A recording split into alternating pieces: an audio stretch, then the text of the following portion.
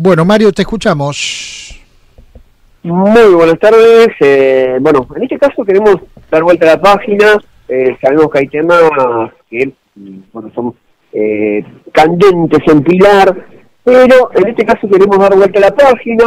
Hablamos de Pilar, eh, hablamos de la filial, la filial de Boca Juniors aquí en Pilar, porque tenemos muchas novedades, Claudio. Eh, no se va a interesar hablar de la filial de Boca Juniors porque eh, no solamente por la campaña que están haciendo, han comenzado esta semana de entrega de tapabocas, estamos hablando del tapabocas oficial de la institución, sino que también hay muchas novedades en el sentido que este fin de semana también, también, eh, bueno, se festejó, eh, teniendo en cuenta, eh, bueno, las características del momento que estamos viviendo, obviamente, con los cuidados del caso, se festejó el Día del Niño, eh, también están haciendo una campaña solidaria muy importante que tiene que ver con gente en situación de calle, en, donde, entre otras cosas, se están entregando frazadas.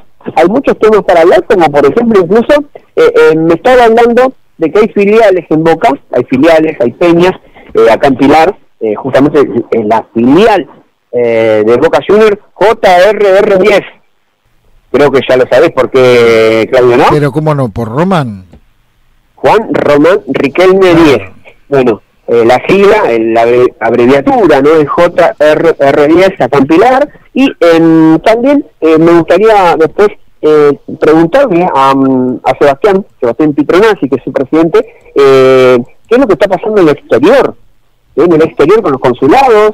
y también estábamos hablando recién hace unos segundos mientras eh, hacemos la previa, eh, bueno, todas las medidas de prevención que va a tener su actual director técnico, eh, Miguel Ángel Russo, eh, teniendo en cuenta que la Copa Libertadores para Boca Juniors, entre otros equipos, ya comienza el 17, 17 de septiembre, teniendo en cuenta, decíamos, que su técnico, Miguel Ángel Russo, no solamente por una cuestión de edad, sino por el, límite de salud complejo que tuvo hasta hace poco, obviamente va a tener que tomarse muchísimas medidas de prevención eh, algo muy eh, especial para él. Ahora te comunico, Claudio, te comunico ya, le estoy alcanzando los auriculares. Vamos. Eh, al señor Sebastián Tito Noche, decíamos presidente de las filiales de Boca Juniors aquí en Pilar. ¿Qué tal, Sebastián? Buen mediodía, ¿cómo estamos?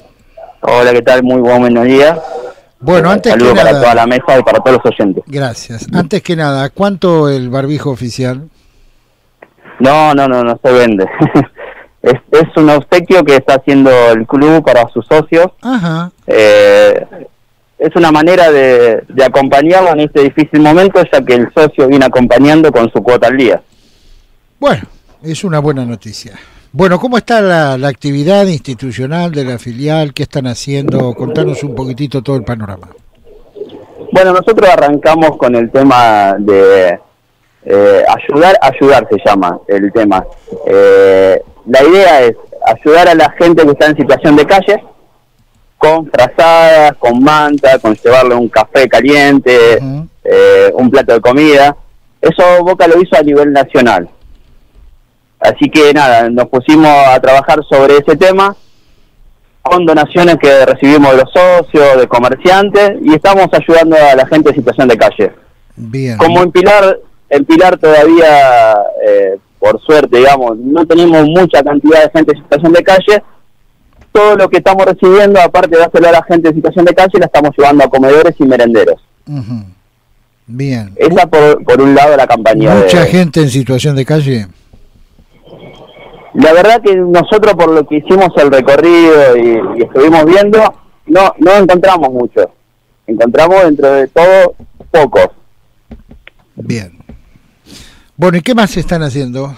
Eh... Después, después sacamos el Boca Te Cuida, que es la campaña de la entrega del tapaboca a todo lo que es socio activo y adherente. Nosotros ya entregamos casi el 50% de los tapabocas. Imagínate que acá tenemos alrededor de 2.200 socios. Eh, así que ya le hicimos ¿Ya entrega. Tiene, ¿Pilar ya tiene 2.200 socios en términos de filial? 2.200 socios en lo que es socio activo y socio adherente.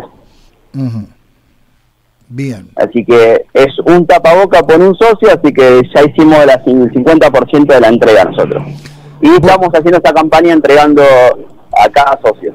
En la faz deportiva, teniendo en cuenta que desde el próximo lunes en provincia de Buenos Aires se comienzan a destrabar algunas cositas, deportes individuales y demás, ¿cómo, cómo están, cómo se están preparando? Mira, por lo menos a nosotros todavía no nos avisaron nada de abrir eh, lo que es acá en la zona de Pilar. Eh, va a ser una de las últimas actividades que se va a abrir por el tema de la prevención. Eh, Boca lo que no quiere que hoy haya caso, que ya no ha pasado en varias filiales que por entregar los tapabocas y todo, tenemos chicos que se han contagiado. Entonces, eh, lo que nos pidieron que por ahora hagamos la entrega a los tapabocas, vayamos a los merenderos, todo, pero con el sumo cuidado y que todavía lo que es eh, la actividad no, no la empecemos. Bien. Ahora, ¿por qué no, no contar nuevamente dónde están ubicados, cómo hacer para hacerse socio, cómo contactarse, cuánto cuesta ser socio y ese tipo de cosas? Bien, nosotros hoy no tenemos un lugar físico por el tema de la pandemia que nos frenó. Estábamos armando nuestra sede ahí en el centro de Pilar, pero nos pueden ubicar vía redes sociales, por Facebook, por Instagram, por Twitter, que si querés te las paso. Por favor. El Facebook es filial Pilar JR10. El Instagram es filial-JR10-Pilar. Y el Twitter es JR10 Pilar. Bien. Ahí, se pueden contactar, ahí cualquier socio que no le haya llegado su tapaboca eh, se puede contactar ahí, se lo acercamos hasta la casa. Si no, tenemos varios puntos donde estamos entregando. Por ejemplo, en Derqui estamos entregando en la avenida Alfaro 1457. Ahí se pueden acercar y ahí estamos entregando. Bien, ¿y en Pilar? En Pilar estamos yendo en la ruta, en la acción, en la estación de servicio, la 25. Ahí estamos entregando eh, de 17 a 19 horas. Bien, nos vamos a la otra punta, en la zona de Viso. En la zona de Viso tenemos dos puntos. Uno es en el centro comercial Las Piedras, local 23. De ahí estamos entregando de lunes a viernes de 11 a 16 y otro es en Lisandro de la Torre 7429 de lunes a viernes de 11 a 18. Bueno, y por último, en la zona de Villarrosa, ¿tenemos algún lugar de contacto? En la zona de Villarrosa vamos a estar este sábado 22 en la IPF de Ruta 25 y Sarmiento a las 16 horas. Bien. Y que ahí se pueden acercar todos los socios. ¿Cuánto cuesta hacerse socio de la filial de Boca Juniors en Pilar? La verdad, cero pesos. Nosotros no cobramos para que sean socios de la filial todo aquel eh, socio adherente, activo, hasta hincha que quiera ser parte de la filial, tienen las puertas abiertas. Nosotros acá no, no, no cobramos nada, nosotros abrimos las puertas para que todo el socio pueda estar en la filial y que le represente la esa filial. La filial no es solo bombo, ni micro, ni bandera para ir a la cancha. La filial es más la parte social, es acompañar al socio del día a día, es ayudarlo a hacer los trámites en el club, es, es una palabra muy amplia lo que es la filial a Campilar. Bien. Bueno, ¿qué está pasando en el exterior? Contanos. En el exterior se abrieron los consulados, porque hay mucha gente que está viviendo en el exterior que quiere ser socio de Boca y no tenía la posibilidad. Hoy se abrió esta nueva inscripción que es eh, Boca Consulado. Entonces todos los consulados, hoy vos vas a los consulados y te, te haces socio y sos socio eh, de Boca Juniors. Obviamente comenzaron por los países vecinos, me imagino. Mira, hoy la, verdad que está muy amplio. Desde que se abrió hasta ahora se acercó mucha gente. Eh, así para que te des una idea, en, en, Japón tenemos escuelitas de fútbol, en Brasil tenemos más, más de 10 escuelitas de fútbol, de boca que están pasando todo por el consulado. Claro, claro. Bueno, un club, digamos, deportivo, esencialmente futbolero, eh, por lo menos en, su gran mayoría en cuanto a su parcialidad, que tiene embajadas propias, esa sería la definición. Exactamente, esa sería la, definición. Bueno, Sebastián, te agradecemos tu tiempo, gracias y bueno, toda la, solidaridad y el apoyo que podamos brindar estamos a disposición. Perfecto, muchas gracias por los minutos dados para dar a conocer estas, actividades que hacemos desde el club y nada, a disposición para lo que necesiten. Que sigan ustedes muy bien, muchas gracias. ¿eh? Mario. Bueno, ahí me estoy poniendo el auricular Y si me permitís nada más, 30 segundos, un, momento nada más, Claudio, la última consulta puede ser, sé que estamos cortos de tiempo, pero eh, a ver, rapidito, eh, sabemos muy bien que la experiencia del fútbol en mayor o menor medida la estamos sufriendo todos. Eh, Boca Juniors es uno de los cinco equipos que va a representar a Argentina en la Copa Libertadores de América, eh, torneo que comienza eh, el 17 de septiembre. Eh, nada, una sola pregunta, se, se, han conocido algunos casos de, bueno, de, coronavirus en Boca Juniors, algunos jugadores, este, pero más que nada me preocupa el técnico, su técnico, Miguel Ángel Russo, que no solamente por una cuestión de edad, sino que por una cuestión de salud, eh, se lo va a tener que cuidar de manera extrema. ¿Cuál, eh, cuál es la idea en un principio? sea, eh, ¿Cómo se va a manejar el club con, con su técnico que tiene que estar presente para las indicaciones, obvio? Sí, bien, eh, como vos lo decís, hoy el técnico no está en el entrenamiento en el cara a cara con, los jugadores, sí está en una oficina en el predio mirando todo y siguiendo todo de cerca, pero no se está acercando a los jugadores. Y con el tema de los viajes se va a estar esperando a ver cómo, cómo sucede todo esto y dan la, eh, la suma confianza de que pueda viajar, va a viajar y si no, no va a viajar él y va a viajar su, su cuerpo técnico. Tengo entendido también que Boca Juniors dentro de poco entra en una burbuja, todos los jugadores, el cuerpo técnico y colaboradores para eh, cuidarse para el comienzo de la Copa Libertadores.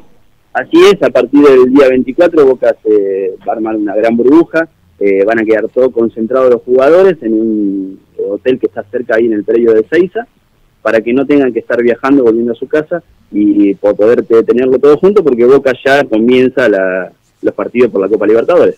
Bueno, gracias, Eva, como siempre, lo mejor ¿eh? para vos y para, para todo el equipo de trabajo. ¿eh? No, gracias a ustedes. Abrazo. Bueno, bueno, esto más, más que nada, cositas relacionadas al fútbol específicamente en este caso, uh Bueno, me imagino que cuando avance el tema Copa Libertadores, y el club prospere y va avanzando también, se van a organizar, digamos, la forma de los viajes, ¿no? Sobre todo cuando jueguen países limítrofes. Sí, seguramente el panorama es complejo también cuando los equipos viajan al exterior, Claudio, eh, porque sabemos muy bien que hay países, eh, bueno, incluso no solamente Boca la tiene complicada, ¿no? En general todo, en mayor o en menor medida los cinco equipos argentinos que participan de Copa Libertadores, el caso de River es mucho más complejo incluso porque va a tener que viajar simultáneamente primero a Brasil, a Brasil récords de contagios y eh, luego Ecuador, un país en donde incluso están haciendo cosas comunes. Este, complejo el panorama. Pero muy bravos en términos de COVID. ¿eh? Sí, sí, sí. Igualmente el panorama, eh, hay mucha expectativa en Boca Juniors con esta Copa Libertadores.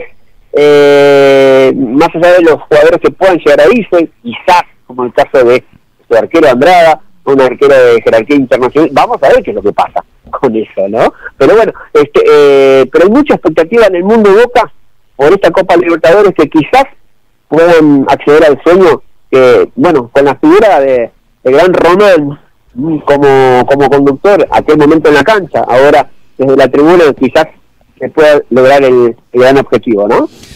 Bueno, Mario, nos estamos reencontrando, ¿eh? muchas gracias. Que tenga un gran día, ¿eh? Lo mismo digo, ¿eh?